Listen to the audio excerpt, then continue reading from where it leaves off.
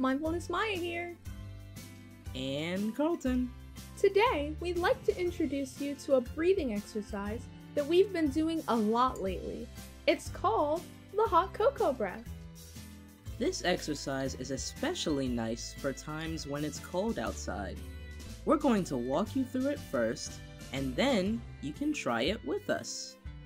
First, we're going to hold out our hands and pretend we're holding a cup of delicious hot chocolate. If you don't like hot cocoa, or you can't drink it, then you can imagine that you're holding any kind of drink that you enjoy, as long as it's hot. Now that we've chosen which drink we like, we're going to close our eyes and imagine the cup warming our hands. Now, we'll take a deep breath in, like we're taking in the delicious smell of our drink.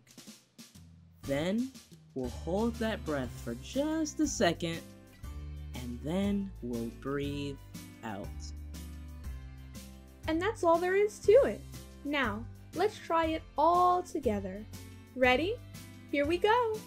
Breathe in deeply through your nose, as if you're smelling the drink that you're holding. Hold that breath for just a second and focus on the warmth that it brings.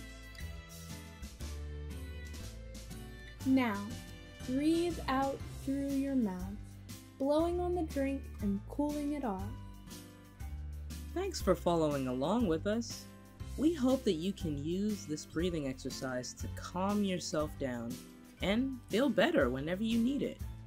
Feel free to check out all of our other breaths too in our breathing exercise playlist. Alright, bye you guys.